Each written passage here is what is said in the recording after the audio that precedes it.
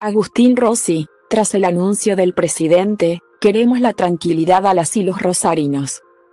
El jefe de gabinete, Agustín Rossi, aseguró este martes que el gobierno nacional no va a bajar los brazos en la lucha contra el crimen organizado en Argentina y el narcotráfico en Rosario y ratificó el compromiso inclaudicable del Poder Ejecutivo de devolverle la tranquilidad a las y los rosarinos. Tenemos el compromiso inclaudicable de combatir el crimen organizado en todo el país y específicamente el narcotráfico en Rosario.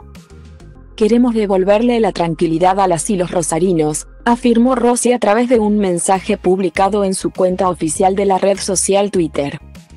El funcionario oriundo de la provincia de Santa Fe remarcó, sin importar las circunstancias, no vamos a bajar los brazos. De esta forma, Rossi se expresó sobre las medidas anunciadas por el presidente Alberto Fernández en un mensaje difundido desde la residencia de Olivos. Entre las medidas anunciadas se encuentra el refuerzo de fuerzas federales hasta alcanzar los 1. 400 efectivos disponibles y la participación del ejército, a través de la compañía Ingenieros. Para la urbanización de los barrios populares de Rosario. Lo que se lee ahora.